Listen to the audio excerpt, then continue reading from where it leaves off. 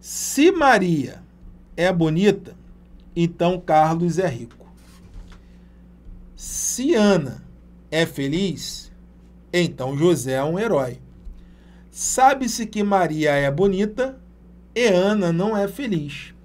Logo, pode-se afirmar corretamente, ó, de novo, novamente, estamos diante de uma questão de lógica de argumentação.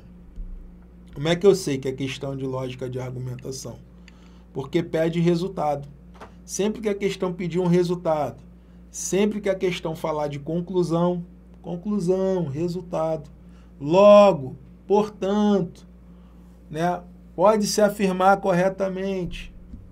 Lógica de argumentação. E é sempre assim, sempre com essa cara. Ele vai te dar uma sequência de afirmações e no final ele vai pedir um resultado. Então, sempre que você se deparar com essa estrutura, lógica de argumentação. Só que agora é lógica de argumentação, lógica de argumentação através da tabela verdade. Através da tabela verdade. Agora é diferente da questão anterior. Agora nós vamos utilizar a tabela verdade, né? Eu vou te passar agora um macete que nós ensinamos no curso em três passos, ó. Tá aqui, ó. Olha aqui, ó. Em três passos, ó. Método das premissas verdadeiras. Primeiro passo, tá? Primeiro passo. Vamos considerar que todas as afirmações são verdadeiras. Então, primeira coisa, tudo verdadeiro. Segundo passo, segundo passo, procurar uma proposição simples ou uma conjunção. O que, que seria uma conjunção? Conjunção é uma proposição composta com e. E o terceiro e último passo é o efeito dominó ou efeito cascata. A partir dessa proposição, nós vamos encontrar o valor de todas as outras. Por isso que o nome é efeito dominó, efeito cascata. Então dá um printzinho, vou até molhar a palavra, vou fingir que não estou vendo, né? Vou fingir que eu não estou olhando, né? Dá um printzinho, dá aquele print maroto, porque é exatamente isso que nós vamos utilizar. Legal? É exatamente isso que nós vamos utilizar. Vamos lá. Primeira coisa, primeiro passo. Qual é o primeiro passo? Tudo verdadeiro. Primeiro passo, tudo verdadeiro. Qual é o próximo passo? Procurar uma proposição simples ou uma proposição composta com e, que é a conjunção ela está aqui no final. Ó. Ela está aqui no final. Já identifiquei. Terceiro e último passo: efeito dominó. A partir dessa proposição que eu encontrei, né, que eu sinalizei ali no argumento, eu vou encontrar o valor de todas as outras. Olha o que vai acontecer. Vamos lá. Quem é o cara que está aqui no meio? É o E. Então, para dar verdade no E, tem que acontecer o quê? Qual é o único caso que dá verdade no E? Tudo V dá V. Então, para dar verdade, tem que ser tudo verdadeiro. Então, Ana é bonita. É verdadeiro. E Ana não é feliz. Também é verdadeiro. Aí eu vou brincando aqui. Ana não é feliz é verdadeiro? Ana é feliz só pode ser falso. Ana é feliz só pode ser falso. Aí, família, vem a malandragem.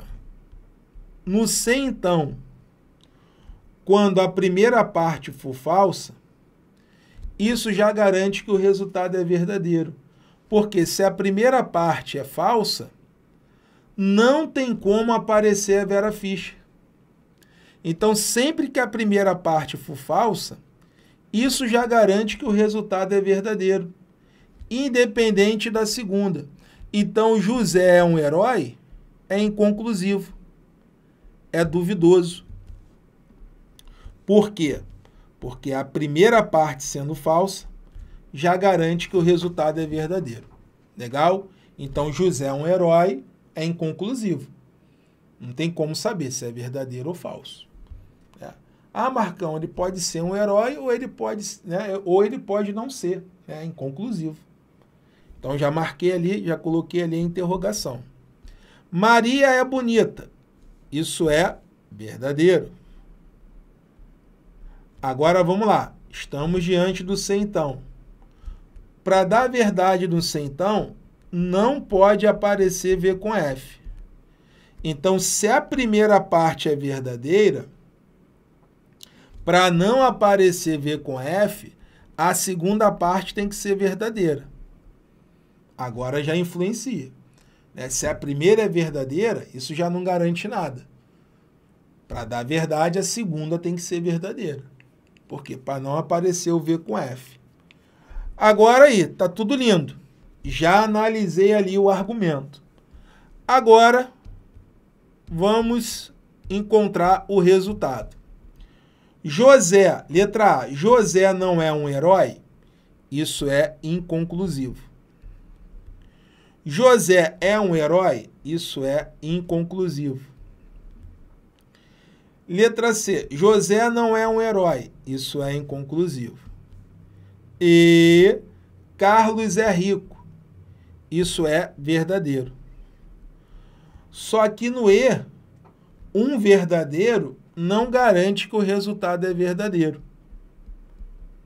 Então, a letra C ela está fora. No E, um verdadeiro não garante que o resultado é verdadeiro. Letra D. Carlos não é rico. Isso é falso. Isso é falso. E a letra E. Carlos não é rico. Verdadeiro. Ou José é um herói. Isso é duvidoso. Só que aqui é o ou, né? Vamos lá, o que, que diz a tabuada do ou? V, F com F dá F. Caso contrário, dá V. Então, no ou, se um é verdadeiro, já garante que o resultado é verdadeiro.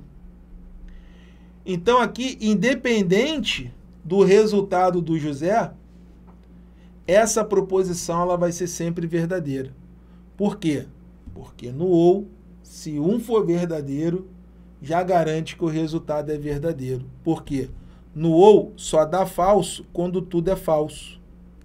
Então, se eu tenho pelo menos um verdadeiro, já garante que o resultado é verdadeiro. Então, o nosso gabarito é a letra E de eu vou passar no TJ São Paulo. Vem cá, você quer aprender matemática e raciocínio lógico da maneira correta para gabaritar a prova do TJ São Paulo e ser aprovado? Se sua resposta for sim, matricule-se agora mesmo no nosso curso para o TJ São Paulo. Olha só o que você vai ter acesso no nosso curso para o TJ São Paulo. Antes de tudo, nós vamos te dar a base da matemática que nós sabemos que você não tem. Então, você, nós começamos com um módulo de matemática básica. Um curso com tudo que tu precisa para sair do zero e gabaritar em apenas sete semanas. Depois a gente tem o módulo de matemática para o concurso do TJ São Paulo com todos os assuntos de matemática para você gabaritar. Depois nós vamos ter um módulo de raciocínio lógico para o concurso do TJ São Paulo. Vamos ter também, se tu tiver alguma dúvida, suporte tira dúvida ao aluno, fica abaixo de cada aula. Teve dúvida na aula da questão, pode mandar que a gente responde. Vai ter um CTP, olha os bônus. O que é CTP? É um centro de treinamento de prova. Nós resolvemos provas na íntegra da VUNESP. Vai ter o curso de exercícios VUNESP. O que, que é isso? É, o curso de exercício, ele é separado por assunto. Então fica muito interessante, porque tu vê a teoria lá e depois tu volta com questões. E olha só, só esses dois aqui são mais de 500 questões da VUNESP resolvidas em vídeo por nós, tá? Você vai ter 14 simulados da banca VUNESP, vai ter um curso de centro de treinamento de prova de português, vai ter um cronograma que é cereja do bolo, um cronograma do zero ao gabarito de matemática e raciocínio TJ São Paulo em apenas sete semanas. O que é o cronograma? É um passo a passo para você seguir. É o teu GPS, literalmente. Você vai ter o que estudar no dia 1, no dia 2, no dia 3. E não adianta. Se tu quer gabaritar matemática e raciocínio e fazer diferente de todos que estão estudando para esse concurso, você precisa estudar todo dia essa matéria. Então você vai ter o que estudar, beleza? Porque eu falo diferente de todos. A manada tá toda estudando a parte de direito e deixando matemática e racionais de lado. Você vai acertar essas 16 questões porque tu vai estar tá com o cronograma do zero ao gabarito em apenas 7 semanas. Mais de 500 questões resolvidas da VUNESP nos cursos de exercícios. No total, mais de mil questões resolvidas em vídeo no nosso curso. E além disso, tem o bônus, o próximo bônus, que são mais seis meses de acesso, ou seja, você tem um ano de acesso pelo preço de seis meses. Pô, Renato, mas quanto vai custar isso tudo? Não é custo, é investimento, porque o primeiro salário, mais de 5 mil reais, eu estou falando do líquido, só para o ensino médio, já dá o investimento. Basta você somar, ó, continha aqui de padaria, ó, soma todos esses valores aqui de tudo que você tem no curso. Se você somar todos esses, esses valores, o seu investimento seria de 1.953, mais de quase dois mil reais. Ai, meu Deus, apesar que, pensa comigo, o teu salário, o primeiro salário já paga esse investimento, mas eu vou te dar um desconto. Se você comprar hoje, de 1.953, vai sair de 1.953 por apenas 12 vezes de 30,72 no cartão de crédito. E se você pagar à vista, tem mais desconto, é 297 reais à vista. Ó, Parcelamento em 12 vezes no cartão de crédito, pode parcelar em menos. 297 você paga à vista no cartão de crédito ou no boleto. Para comprar é muito simples. Clica agora aqui no link que está na descrição ou no cartão que está aparecendo aqui. Clica agora, compra e eu te vejo lá nas aulas do curso para a gente sair do zero até o gabarito em apenas sete semanas. Eu te ensino a usar o cronograma, tem uma aula onde eu te ensino a usar esse cronograma, te ensino como usar o suporte da dúvida. Tem também uma aula onde nós te mostramos os assuntos que mais caíram nas últimas provas do TJ São Paulo, para você saber o que deve focar mais. Então é o curso para você sair do zero e gabaritar em apenas sete semanas. Então clica agora que, é, que a gente te, espera lá nas aulas do curso, beleza? E ó, qualquer dúvida, digita aqui eu quero que a minha equipe vai entrar em contato com você para detonar. E se quiser falar com a minha equipe, tá aqui o WhatsApp 21 97029 9443. Manda mensagem, fala com o Júnior no WhatsApp que ele vai te ajudar para você sair do zero e gabaritar. Tamo junto, pra cima deles, te vejo nas aulas do curso. Até lá, valeu!